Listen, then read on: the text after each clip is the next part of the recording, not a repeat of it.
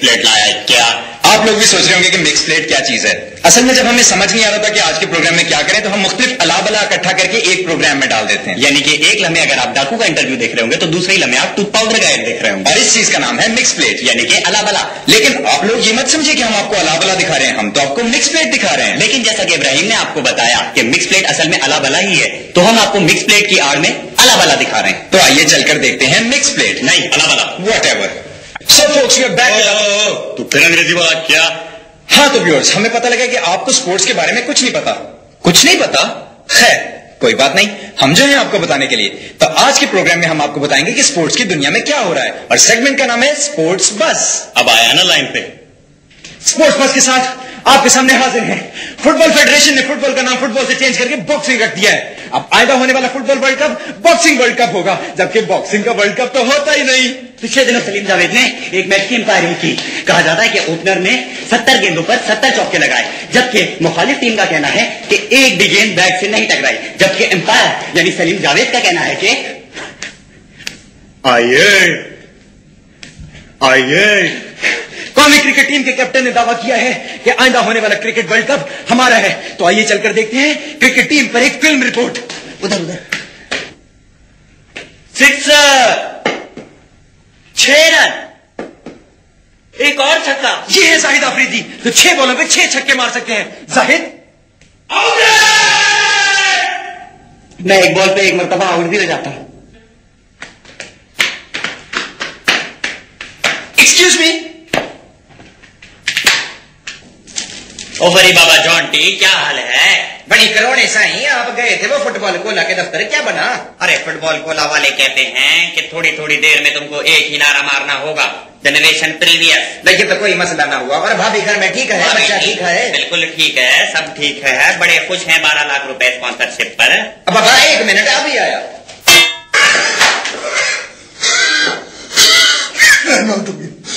Hello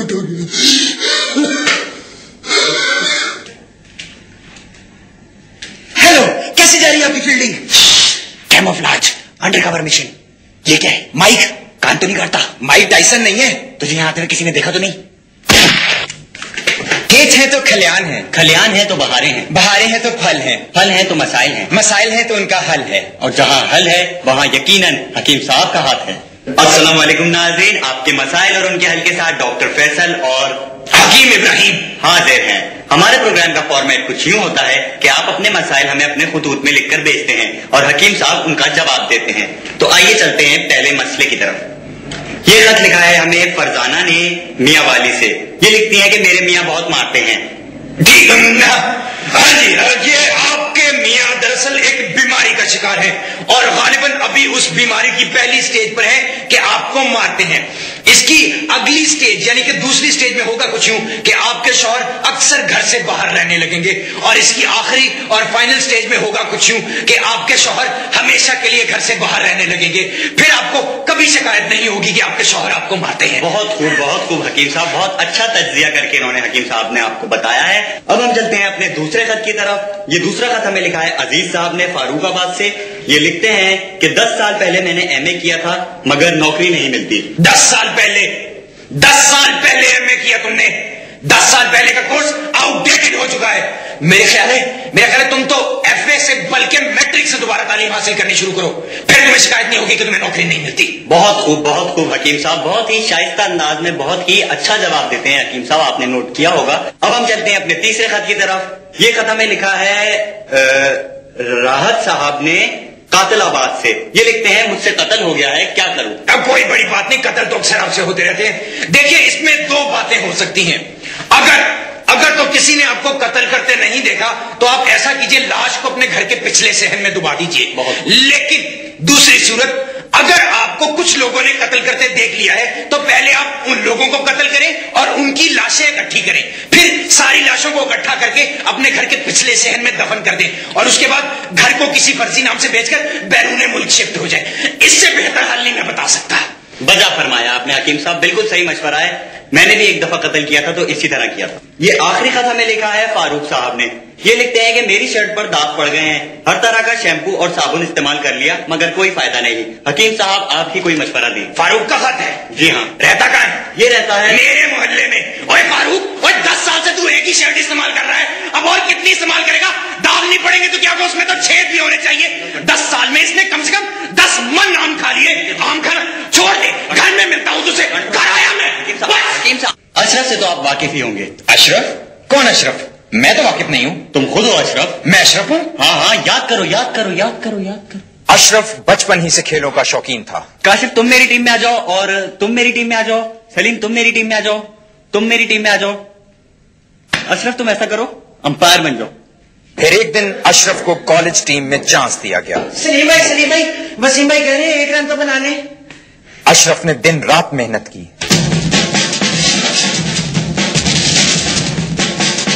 Ashraf ने cricket में आते ही तमाम रिकॉर्ड तोड़ डाले।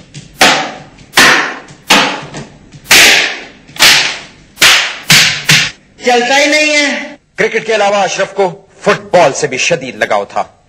अरे मेरा फुटबॉल कहाँ गया? अशरफ फुटबॉल का जदीद तरीन इस्तेमाल जानता था। ओए ओए ये क्या है ओए? अल्लाह की कसम नमक है आखिरकार अशरफ को चांस मिल ही गया तो उसे मालूम पड़ा। क्या? टेनिस बॉल से नहीं खेलना? अशरफ ने अपने पहले ही मैच में बे इंतहा रन बनाए।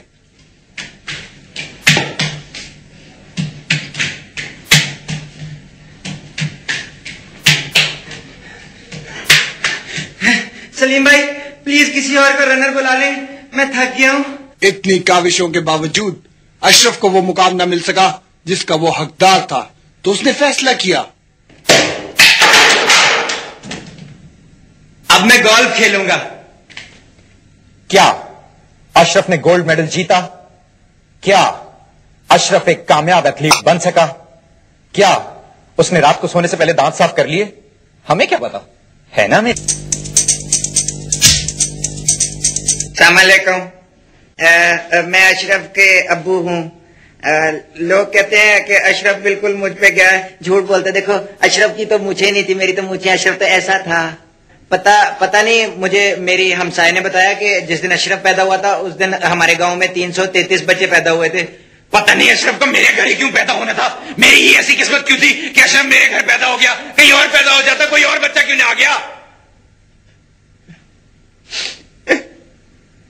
खैर अब रोने से कोई फ़ायदा नहीं। चले बताता हूँ अशरफ के बारे में कुछ। ये बात है जी 22 दिसंबर 1974 की कि जब बालाकोट से 10 किलोमीटर के फासले पर हमारा गाँव है पैदाइश के दिन ही उसे ज़िंदगी का सबसे बड़ा सदमा मिल गया। मेरा बेटा?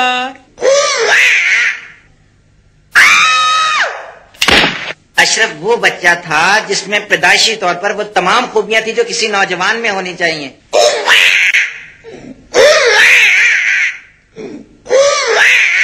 माशाल्लाह जी बचपन से ही उसके अजाइम बहुत बुलंद थे। नहीं छोड़ूँगा नहीं छोड़ूँगा दुश्मन का एक एक जहाज़ तबाह कर दूँगा। अंकल टोकन खत्म हो गए। बचपन से ही पढ़ने का बहुत शौकीन था। दिल किसी का दोस्त नहीं। सितारे मोहम्मद अली जेबा शान। देखूँ कि ना देखूँ? देखिए जी, मैं अशरफ का अबू हूँ। इसमें मेरा कोई कसूर नहीं है। देखें, खुदा के लिए मेरे पे उंगलियाँ नहीं उठाएँ। अल्लाह ना करे अशरफ, आपके घर भी पैदा हो। अगर पैदा हो गया तो आपको लग पता जाएगा। मेरे पे उंगलियाँ नहीं उठाना भाई। सलाम